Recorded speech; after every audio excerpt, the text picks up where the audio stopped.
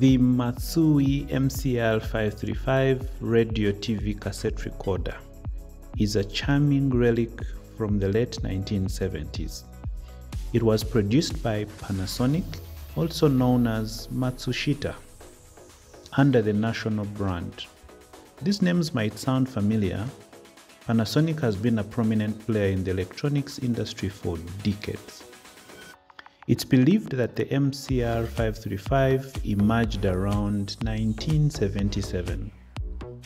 Remember the disco era, funky tunes, and bell bottom pants?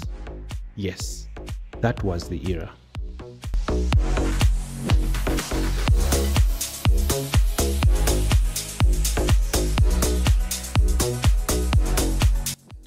The MCR 535 features a portable design, making it easy to carry around.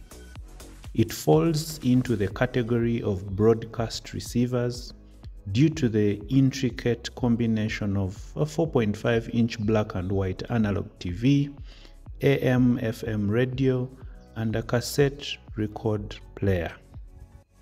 It could be powered using either the AC 240 volt mains or 12 volts DC or 10 dry batteries. You heard me right 10 batteries. Some of the other features were a full plastic body, a 3.9 inch loudspeaker, telescopic aerial, earphone, and mic ports.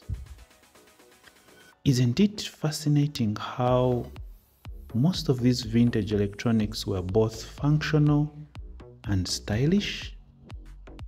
Hmm.